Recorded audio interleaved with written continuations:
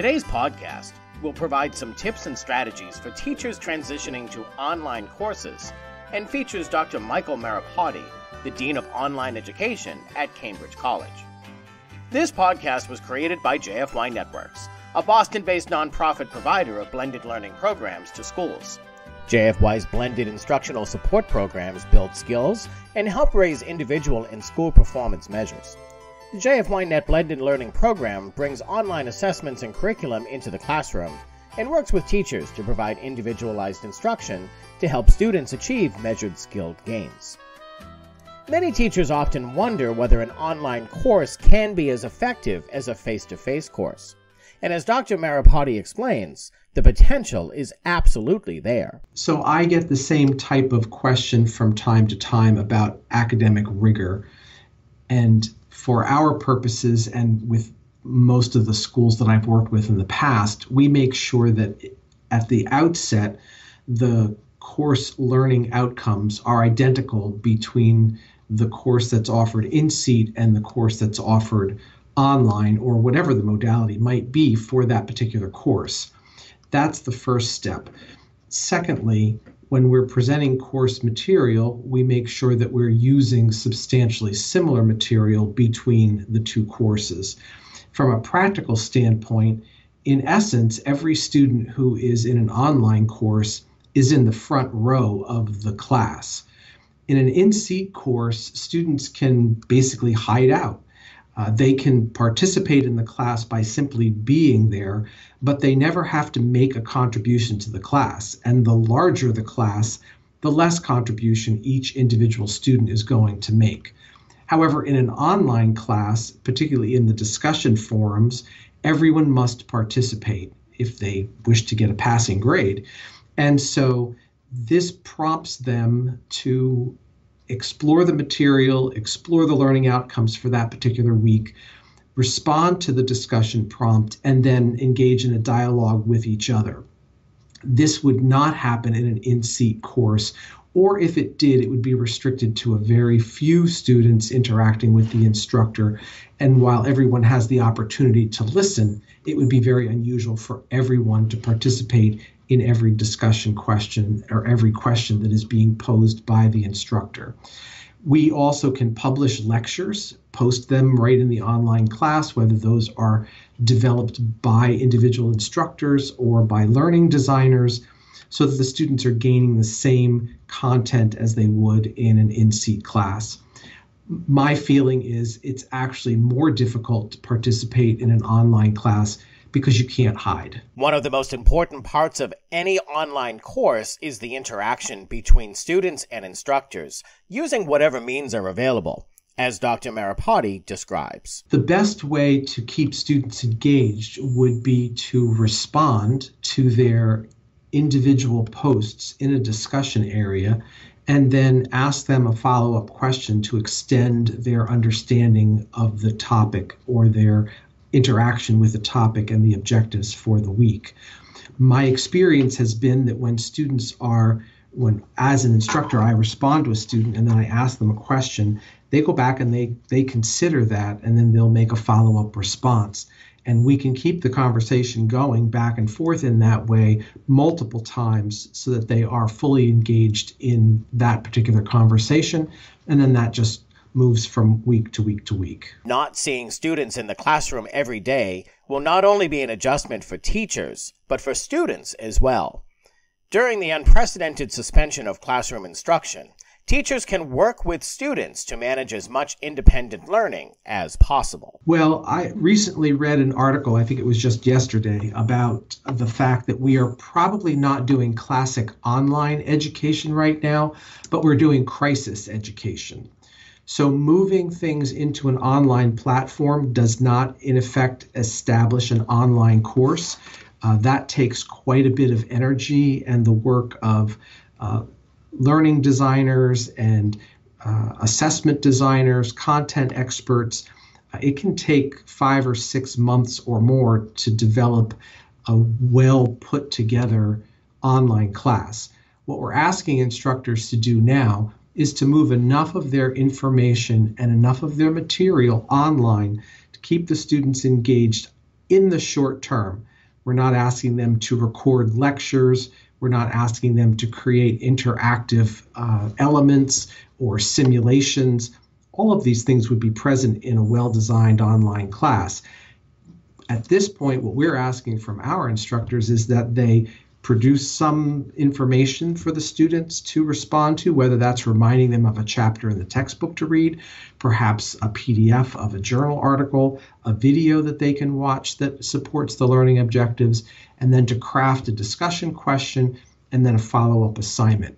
Very, very basic elements and as long as the instructor is comfortable using the learning management system, they shouldn't have any problem with the content. While some schools may already have online platforms available to teachers and students, there are free resources available to help teachers provide instruction to students. It really would depend on the subject what I find is that YouTube probably has better resources when it comes to visual representations of various topics, but certainly Khan Academy and others like that could be useful. If they are connected to a college or university, they should have a video service embedded in their college library and they they range so I, it wouldn't matter if i gave the name because either the college has it or they don't.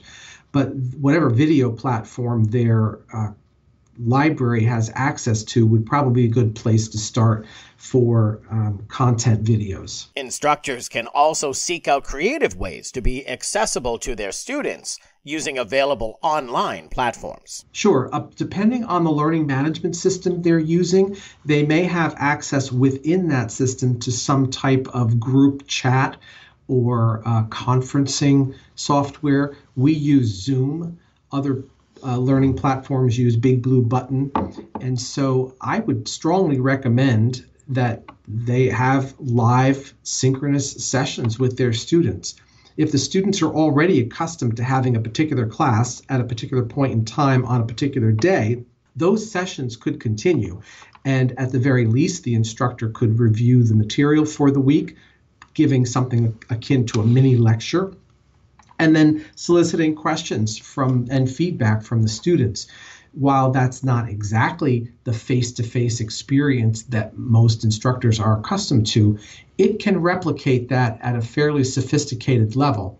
And if they are using Zoom, particularly, uh, they can create breakout rooms. So they could break the class up into small groups and they can move from one group to the next to the next, just as if they had done that in a, in a classroom setting and they were walking around the room and listening in on the group discussions that were going on. So there are a number of possibilities to replicate that in person experience. You really can't over uh, overestimate the importance of personal contact. And so, if that's a daily email, if that's a weekly uh, synchronous conversation around a, a Zoom call or something like that, having discussion questions maybe more than one a week with specific due dates so that the students are brought back into the setting repeatedly during the course of a week. Cambridge College already has many of the tools in place in order to help their students and instructors during the campus wide shutdown. We've been very fortunate in that our many of our instructors were already familiar with Zoom and had used it for a variety of meetings. We happen to have multiple campuses, uh, one located in California, two in Massachusetts, in addition to our Charlestown campus, and then uh, another campus in Puerto Rico. So Zoom is just a way of life for us. And bringing students up to speed, we, uh, as a matter of fact, uh, several weeks ago, we had already started putting together training materials for faculty and students on Zoom, and then the same thing for our online platform. So that would be a little, they would have a little less experience with that um, but almost everyone has experience with Zoom. So we have found so far, now we're only 48 hours into this process because we literally stopped our courses on Tuesday night, March 17th. So today will be the first day that everything works remotely, and uh, we'll we'll see how that goes, obviously. But so far, things have have worked very well, and the people who made the transition already have been reporting back that things have gone smoothly. The students, uh, the attendance is fine and interaction has been fine. So we're fairly confident that um, we're going to make this transition without too much difficulty. But even schools who have top notch plans in place should expect some glitches to occur. More options for access by students and faculty can help continuity should one of those options become unavailable. Oh, absolutely. Uh, it's not to say that there aren't students out there without the correct technology, or there aren't students who perhaps they they're going to run into issues in terms of health or health of family members. This is an ongoing, literally minute by minute experience for all of us. So, yes, I would assume that there are going to be issues that will come up over time, but we have distributed our uh, email contact information. We all have access to our office phones. We have constant communication through Skype Business so that we are able to respond to any and all. We have we have a 24/7 technology line. We have brought them all up to speed on how to use Zoom, how to use our learning management system so that they can answer questions as they come through in real time and not have to forward those questions to uh, another party to answer them.